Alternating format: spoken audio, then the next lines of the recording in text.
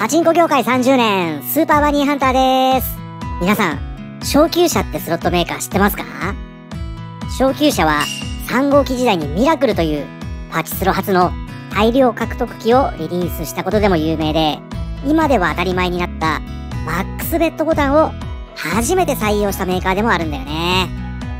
そんな昇級者から1993年にリリースされた同社初の4号機ジャックポットにはびっくりするような攻略法が存在したのでした。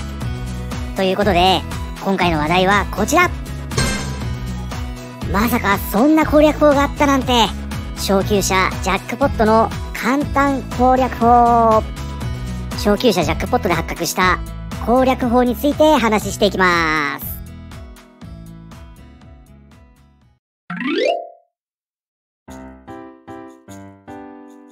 店長店長。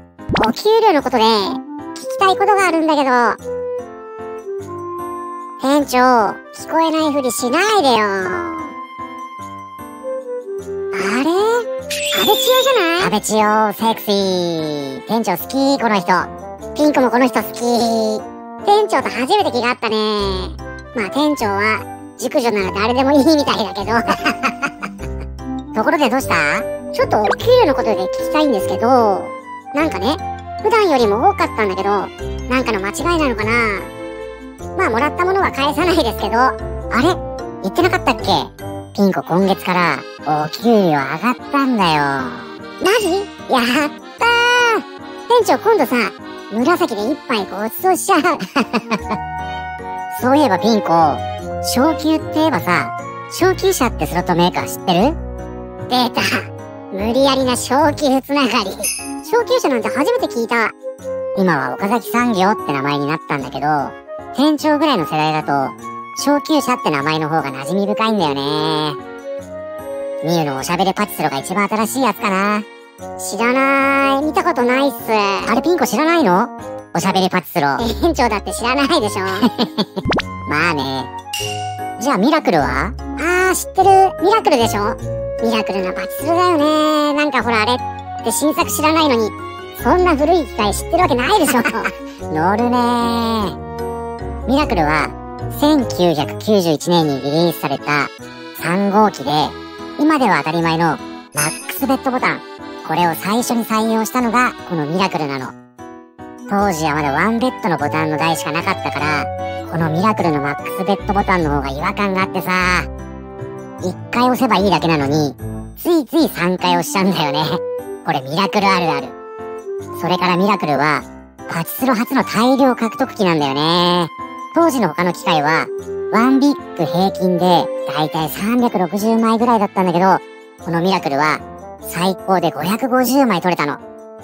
そんな斬新なことをやってくれる昇級者の4号機でジャックポット2ってのがあってね。ジャックポット2にもなんか斬新なのがあったわけ。斬新っちゃ斬新かな。このジャックポット2にさ、攻略法が発覚してね。この攻略法が斬新ってか、簡単お手軽っていうか。え、なになにどんなやつ？ほんと簡単な攻略法なんだけど、どうやるかっていうと、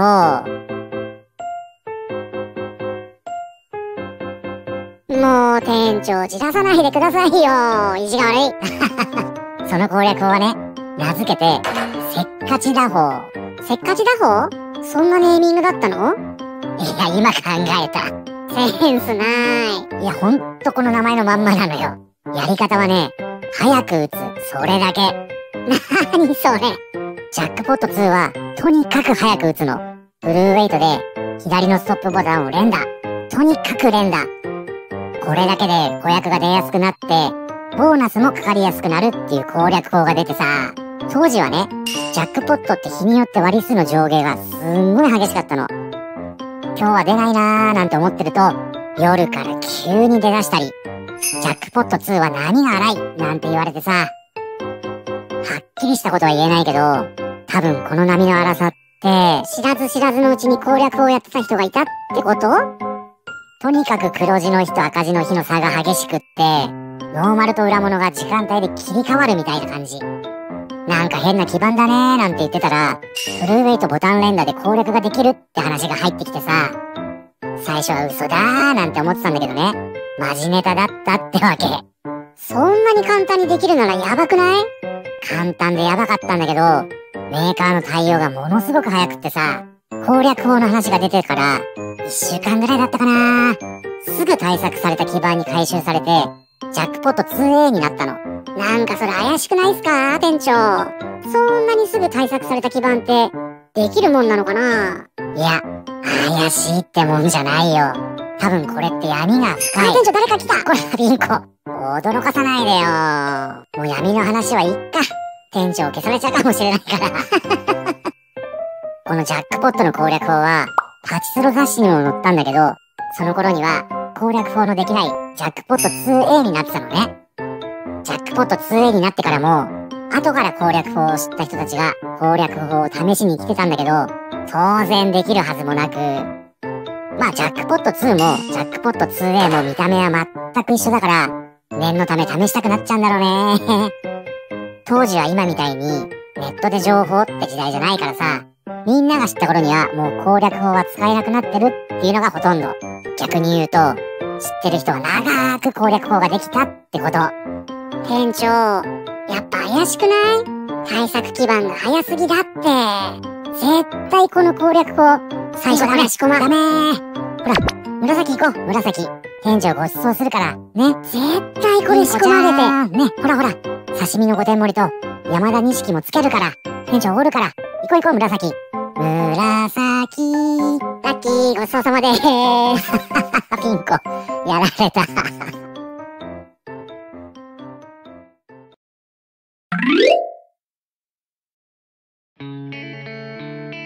フルウェイトでストップボタンを連打するだけで、顧客確率とボーナス確率が通常値の約3倍になったジャックポットの超お手軽攻略法。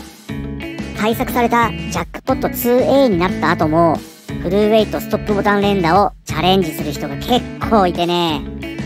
通用するはずなんかないんだけど、攻略法ってさ、思いもよらない方法でできたりすることがあったから、もしかしたらって思っちゃうんだよね。ユニバのあの攻略法も、サミーのあれも、まさかそんな方法でってやつだったもん。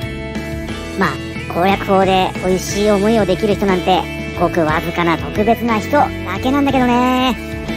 ということで、今回は昇級者ジャックポットの超お手軽攻略法の話でしたが、いかがだったでしょうか？質問やご意見ありましたら、ぜひコメント欄にお寄せください。チャンネル登録もぜひよろしくお願いします。今回も最後までご視聴いただきありがとうございました。それではまた次回お会いしましょう。スーパーバニーハンターでした。